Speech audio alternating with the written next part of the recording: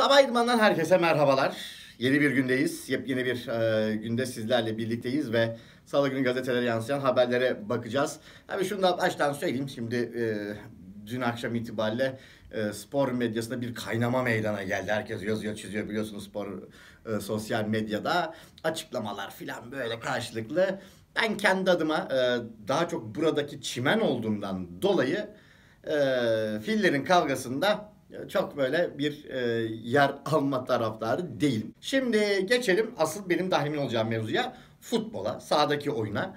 E, ve Fenerbahçe Hatay karşısında dün 2 puan kaybetti. İşte yaklaşık uzatmalarla beraber hani bir 15 dakikalık bir bölümü e, rakip e, 10 kişi 9 kişi oynamasına rağmen Fenerbahçe pozisyon bulmakta çok büyük sıkıntı yaşadı. Buna karşılık Hatay şut dahi çekmedi. Şimdi e, Hatay'ı tabii ki herkes met ediyor. Doğru evet. Fakat şu ana kadar ki hani Karagümrük'ü beğendiğimi söylemiştim daha e, geçen hafta e, ilk hafta mücadelelerinin ardından eğlenceli bir takım diye. Karagümrük'te Hatay'da birincilik kodlarıyla hala oynuyorlar. Birincilik kodlarıyla oynadıklarından dolayı da e, bu oyun onlara Süper Lig'de şu anda çok böyle bir özellikle Hatay zengin bir oyun ortaya çıkartmıyor. Ki üçgen presikle konuşacağız daha detaylı bir şekilde. Yani e, bir gerçek e, var ki Hatay e, şunu doğru yapıyor. Hiç dandun çıkmadı. Hep paslarla çıkmaya çalıştı Fenerbahçe'yi karşılarken ve Fenerbahçe'yi kendi birinci bölgesinde çok iyi karşıladı. Fenerbahçe'yi o kadar iyi karşıladı ki Fenerbahçe merkezden geleme. Şimdi Fenerbahçe'nin oyun kurgusuyla alakalı da problemleri vardı. Onu konuşacağız ama önce Hatay'ın doğru yaptığını söyleyelim. Fenerbahçe bir kere merkezden hiç getirtmedi. Zaten merkezden getirecek oyuncusu da yoktu kadroda. O da ayrı bir mevzu. Ee, kanatlar da çok iyi sıkıştırdı. Daha çok işte zorlama yani boş alan bırakmadan e, işte serseri olarak adlandırabileceğimiz toplara e, zorladı Fenerbahçe'yi ve Hatay Spor ardından da tabii e, işte dediğimiz gibi Fenerbahçe çok yanlış bir orta saha kurgusuyla çıktığından dolayı da Hatay'ın bu planı tıkır tıkır işledi. E, herkes konuşuyor. Aykut Kocaman tarzı bir oyundu vesaire. Aykut Kocaman tarzı bir oyun değildi. Şimdi neden değildi? Ne alaka diyeceksiniz. Aykut Kocaman bir oyun felsefesine sahip. O oyun felsefesi Aykut Kocaman'ın Fenerbahçe'deyken de, e, Konya Spor'dayken de, daha önce Ankara Spor'dayken de hep aynı mantalite üzerine kuruluydu. Yani Aykut Kocaman bir maçta değiştirmiyordu bu stratejisini. Hatta bazı maçlarda daha pozitife doğru çeviriyordu. Ama Aykut Kocaman'ınki bir felsefeydi, bir oyun anlayışıydı. Erol Hoca aman Fenerbahçe yeni teknik direktör oldum ve çok fazla transfer yapıldı. İyi de başladım. Birazcık yani zor da olsa kazandım. Kazandım. Forvetim de yok.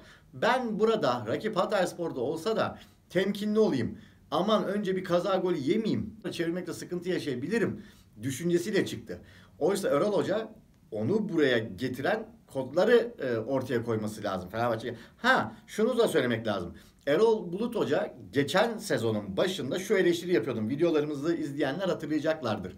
Ee, Erol Bulut'un alternatif bir planı yok. Bir oyun sıkışında B planı, C planı, D planı ortaya koyamıyor Erol Hoca diye bir eleştirim vardı. Devrenin sonlarına doğru e, bu konuda çok büyük adım attı Erol Bulut ve Alanya Spor'un e, hücum organizasyonu özellikle çeşitlilik e, oluşturmaya başladı. Şimdi Fenerbahçe'de anlaşılan bunun sıkıntısını da yaşayacak. Yani biraz tek düze gidecek ve sonra sonra e, sanırım planı oyun çeşitliliğini, hücum çeşitliliğini arttırmak Fenerbahçe'de ama e, Hatay karşısına 3 tane e, oyuncuyla yani bu tarz birbirine benzer özelliklere sahip 3 oyuncuyla çıkmazsınız. Hem Ozan'ı hem Gustavo'yu hem Tolga'yı kullanmazsınız. Hadi kullandınız.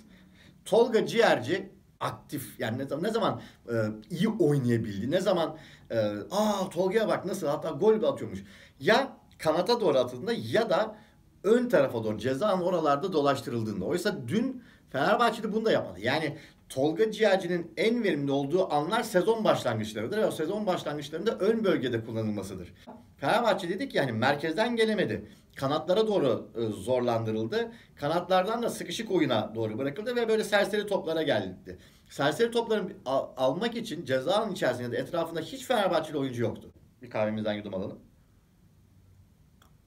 E kanatlarda da oyun açabilecek adam eksilten oyuncu yoktu. Ferdi yani çıkması bence çok doğru değildi ama yani Ferdi de e, Tiam'da kanatlarda e, adam eksiltme hünerini ortaya koyamadı.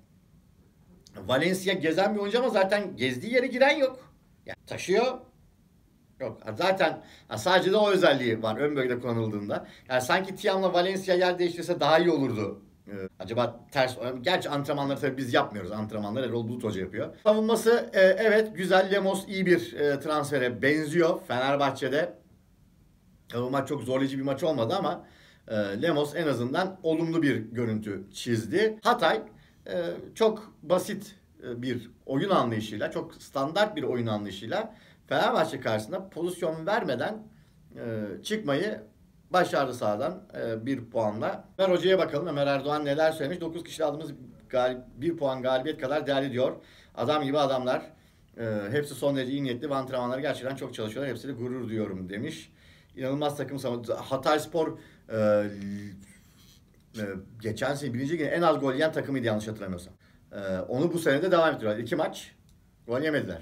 9 kişi kaldı bir de sonrasında. Yani 10 kişi, 9 kişi bunlar hakikaten e, çok çok e, önemli. Ama e, Hatay Spor'un hakikaten e, kadrosuna baktığımız zaman size şöyle söyleyeyim. Hatay Spor evet şu anda 4 puanla başladı ama Hatay Spor çok sıkıntı yaşayacak. Yani Diouf, Diouf'luğu gitmiş. Adı kalmış sadece. Ee, yani Riberio yani Barboza, işte Sake yani bunların ne verileceği zaten belli. Ee, yani yabancılar konusunda biraz bence sıkıntı yaşayacak Hatay. Evet iki haftaya 4 puanla başladı ama Hatay'ın e, çok zorlanacağı bir e, lig olacak gibi gözüküyor şu kadrosuna baktığımızda. E, Alanya'da daha cesurdu. Fenerbahçe'de işte o cümleyi kurmayacaksın hocam. Şampiyonluk başarısızlıktır. Erol Hoca bu cümlenin etkisi altında kalacak. Bu cümlenin etkisinden, olumsuz etkisinden sıyrıldığı anda Erol Bulut başarılı olacaktır. Ki zaten ben hep söylüyorum. Erol Bulut bu sene şampiyon olamasa dahi e, kalmalı, kalmalı, kalmalı. Mehmet Demirkol abimiz e, neler söylemiş? Hücum yok, umut var diyor. E, bu tip maçlarda 3-5-2 oynayacak. Zaten ta ben bunu kaç zaman önce söylemiştim. E, Novak'ın sol, e, üçünün solu olarak oynadığı bir 3-5-2 Fenerbahçe açısından çok cezbedici olabilir gibi geliyor bana. Fenerbahçe'de forvet ihtiyacı var mı? Var ama dün böyle bir forvetle alakalı bir mevzu değildi. Oyun e, stratejisiyle alakalıydı.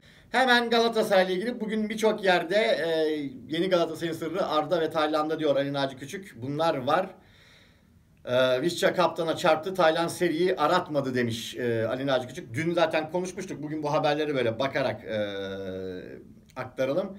Oyuncular iletişimi ve liderliği senin Arda sahada ofansa ve defansa katkısıyla dikkat çekiyor. Ofansa çok katkısı yok. Defansa daha çok katkısı var. E, Terim'in e, modern ön libero olarak oynattığı Tayland'da bu ne demek bilmiyorum. Modern ön libero'dan kasıt tam anlamadım. Tayland'a verilen görevi başarıyla yerine getirirken istatistiklerde performansını açıkça ortaya koyuyor e, demiş.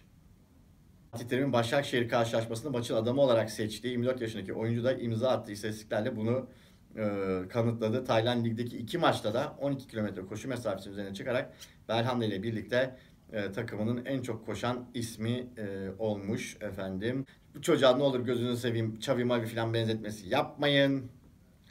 E, kurban olayım ne olur lütfen yalvarıyorum. Burada da yine e, Nevzat Dindar'ın haberi. Bu Nevzat Dindar da Emre ve Tayland'dan bahsediyor ki bence daha çok. Evet Arda özellikle Başakşehir maçında pres konusunda çok güzel iş yaptı ama ofansif katkısı yapar ileride yapabilecek yani yapacakmış gibi gözüküyor bilemiyorum ama şu anda yok. Ee, ancak Emre'nin de e, pozisyonunu unutmamak lazım. Emre'nin de görevini unutmamak lazım. Emre çok doğru işler yapıyor. Emre Kılınç ve e, Taylan bu ikisinin performansı Berhandi'yi de rahatlatıyor. Fegri'yi rahatlatıyor. Arda'nın o presleri Berhandi'ye ekstra rahatlatıyor. Berhandi işlerini yapabiliyor. Ee, bu sayede Falcao da kendi üzerine düşeni yapabiliyor. Bakalım Nihat Bey ne demiş? Ee, ne olursa olsun liglere devam edeceğiz. Eyvah lig iptal edilecek. Nihat e, Özdemir Bey e, ne olursa olsun liglere devam edeceğiz diyorsa e,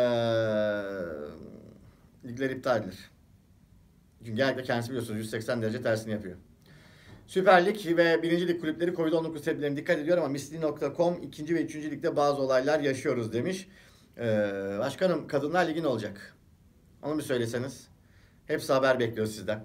Acaba Ee, kadınlar birinci ligi, ikinci ligi neler e, yaşayacak, nasıl olacak?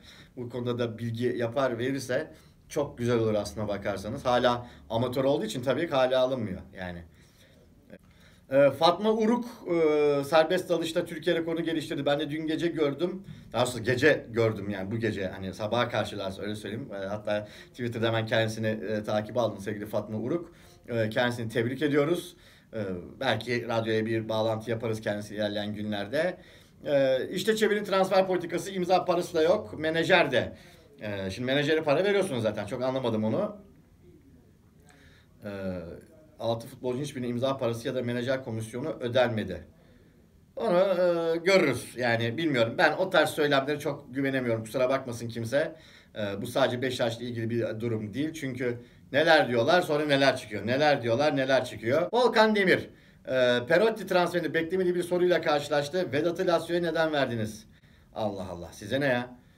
Romalı yetkililer 3 milyon euro bonservis istedi. Vedat transferinde Fenerbahçe'nin kendine indirim yapmaması nedeniyle de rahatsızlıklarını dile getirdi. Romalı yöneticilerin Fenerbahçe'ye kızgın olduğu ve Perotti konusunda kolaylık sağlamayarak rahatsızlıklarını gösterdikleri ortaya çıktı. Yalnız şunu söyleyeceğim. Ee, Volkan Demir'in haberi bu.